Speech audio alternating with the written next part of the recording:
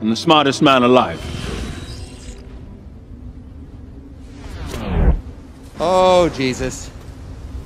Oh, that's not good.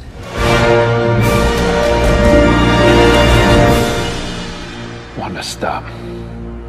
You've possessed an innocent woman, but you can still do the right thing. Let her go. I'm about to do something terrible. Please.